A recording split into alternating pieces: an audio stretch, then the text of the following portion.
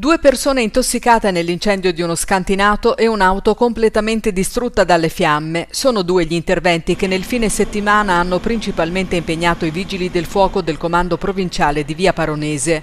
Lo scantinato nel quale si è sviluppato l'incendio si trova in Via dell'Alberaccio. Ignote le cause che hanno fatto divampare le fiamme. Due le persone che nel tentativo di spegnere il fuoco sono rimaste intossicate e per questo sono state trasportate al pronto soccorso del Santo Stefano dove le loro condizioni condizioni di salute non sono state giudicate gravi. Sul posto è intervenuta anche la polizia e una pattuglia della municipale per regolare la viabilità. Risale invece al primo pomeriggio di sabato l'incendio che ha completamente distrutto un'auto che stava percorrendo l'autostrada A11 in direzione Firenze, nel tratto compreso tra i caselli di Prato Ovest e Prato Est. Il conducente ha fatto in tempo ad accostare sulla corsia di emergenza e a scendere dall'auto prima che le fiamme la avvolgessero. Il traffico ha subito rallentamenti ma non si sono formate code.